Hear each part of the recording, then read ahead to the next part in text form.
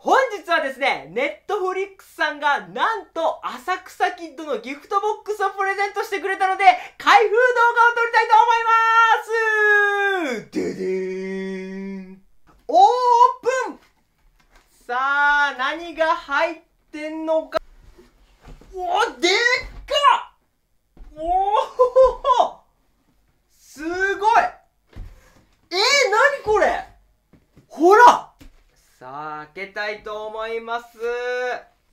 さあこちらおー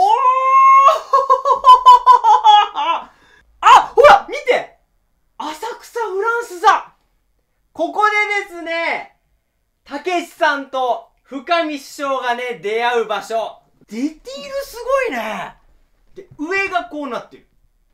で、こう。ね、後ろまで。めちゃめちゃでかいな。これ今僕が住んでる家よりでかいっす。さあ、中身は何でしょうか？オープン！ほらおー！何これ？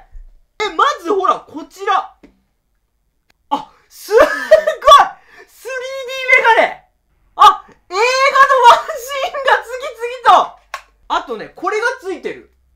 おーほらステッカーでございます。芸人だよ、バカ野郎。ここれはね、客席に向かって言うね、もう大名シーンがあるんでね。で、続きまして、ここちら。あパンフレット。うわ、パンフレット。いや、いいですね。ちょっと待ってくださいよ、待ってくださいよね。ほら、こちら。大入り袋。